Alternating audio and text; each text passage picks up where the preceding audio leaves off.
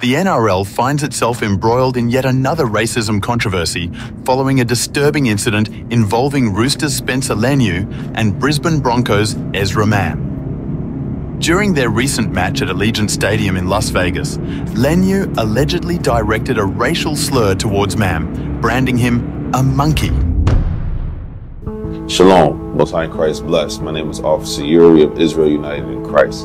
Today, we're going to talk about is how even in the sports world, even as millionaires, you are not exempt from the curses of Deuteronomy chapter 28. The Israelites that were scattered all over the earth, they will be identified by the curses that they're under. Spencer Leniu's monkey slur shines a light on systemic racism in Australia, says NRL Indigenous Player Education Manager. A monkey or an ape has a long history of being associated with black people all around the world, Coombs told the ABC. It's been used for that very purpose to dehumanize black people, to say that they are closer to monkeys and apes than they are to being human. I can't really think of any parallel for white people. This is something that's been happening in the sports world, especially for a very, very, very long time. You have famous soccer players being booed out of stadiums, being called monkey, having bananas thrown at them. Crowds were heard shouting monkey chants across the stadium. How come, with all the money that footballers, soccer players, and athletes have, they can't escape the plight of their people? So, what is it showing you? Money doesn't matter. The curses of God are going to follow us until we repent. What curse am I talking about? Let's find out. Deuteronomy chapter 28, verse 15. But it shall come to pass, if thou wilt not hearken unto the voice of the Lord thy God, to observe to do all his commandments and his statutes which I command thee this day, that all these curses shall come upon thee and overtake thee. The children of Israel, we broke God's commandments. Thus we were scattered abroad all throughout the four corners of the earth. But let's see what will happen when we get to these places past, present, and future. Deuteronomy chapter 28, verse 37. And thou shalt become an astonishment, a proverb, and a byword among all nations, whither the Lord shall lead thee. That word, byword, what is that? What does that mean? Let's get the definition.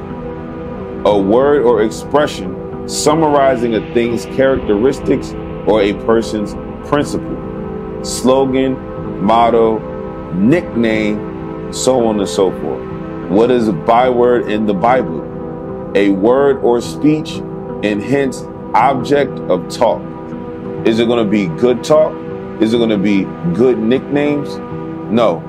They're going to call us outside of our God given name. Psalms chapter 44, verse 12. Thou sellest thy people for naught, and doest not increase thy wealth by their price. Australia has a dark history of blackbirding, where first islanders, aboriginals, were sold into blackbird slavery. The Bible says that when the Lord did that, he didn't make any money off of that.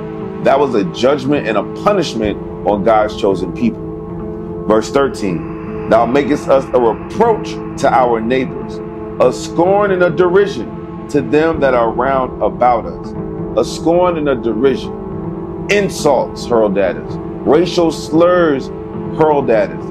By who? Those nations that are round about us, that are not the children of Israel. Verse 14 Thou makest us a byword among the heathen, a shaking of the head among the people.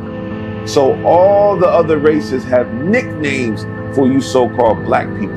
No matter your status, no matter what your bank account says, they have a racial epithet for you. They have some type of proverb for you, some type of old saying.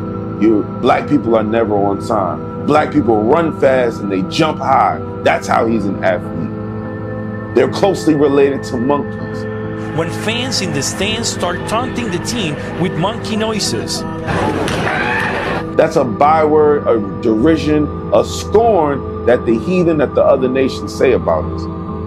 It's meant to dehumanize. It's meant to mess with your psyche. It's meant to lower your position in society to nothing more than an animal. Psalms chapter 137, verse 3. For there they that carried us away captive required of us a song, and they that wasted us required of us mirth, saying, Sing us one of the songs of Zion. What this is saying is that in the land that you live, those that have oppressed you, those that have taken some of us captive, they require from us entertainment. They require for us to run on the field, to kick a ball, to put a ball through a hoop, make us laugh, make us cheer. But what we're really showing you is that it's a form of slavery. Sports has always been used to keep the oppressed, to keep the children of Israel asleep. Wisdom of Solomon, chapter 15, verse 12. But they counted our life a pastime, and our time here a market for gain. Do you realize that most times the so called black man is excelled in society is due to some form of entertainment, is due to some form of gain. There's a market for gain through his body. He has to run up and down the field, he has to sing a song, he has to make us laugh. There's a market for gain. Your life is a pastime or a novelty or something to do for those that hate you, for those that oppress you. Let's read on. For say they, we must be getting every way, though it be by evil means. Usually, there's some type of wickedness behind it. The whole sports world was started in the Greek captivity with discus and gymnos, which means naked place of exercise. That's why this locker room banter spilled out into the field as to where you, so called black man, are in a low state, you are in a low position.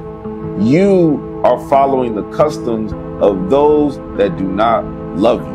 Romans chapter 12 and verse 2. And be not conformed to this world, but be ye transformed by the renewing of your mind. We must renew our minds out of sports, out of the Greek fashions, out of the ways of this world, and back to the customs of the Bible back to the customs of your people. You are not a monkey. You are the children of Israel. You're not a slave. You're not just a number with a name on the back. You're not just a jersey. You're one of the greatest people on the face of this earth. But we've been brought low because we broke God's commandments. If you have any more questions, you can follow us on all platforms. IUIC Oceania on Facebook, Instagram, TikTok, and YouTube. We also have an IUIC Oceania WhatsApp. If you like the information you heard, you want to learn more about your history and your heritage inside of the Bible, send us your WhatsApp number and we will add you to our IUIC Oceania chat. All right? Most High in Christ bless. Shalom.